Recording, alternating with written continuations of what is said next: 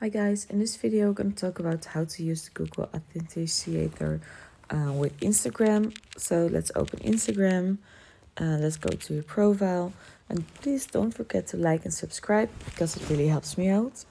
Let's go to the top three lines, click on settings, click on security and now you, you can uh, click on two-factor authentication and now you click on the blue button get started. And then you get a few uh, options. I'm gonna choose the first one. I'm gonna get on next.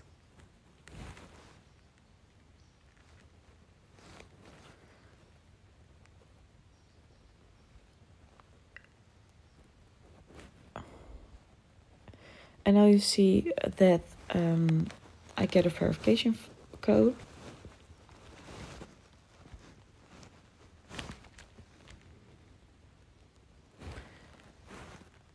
And I can put it over here. Um,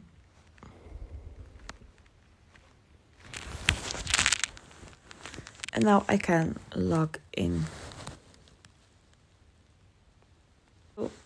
This way only works when you have a authentication app and will as you can see it will actually happen uh, automatically.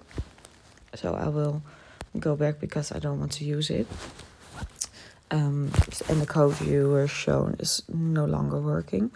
Um, so you just have to follow the step but make sure you have um, uh, downloaded an app that's called Authenticator. So I'm gonna look for you.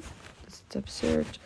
Let's click here and then click on this one and make sure or you download this one.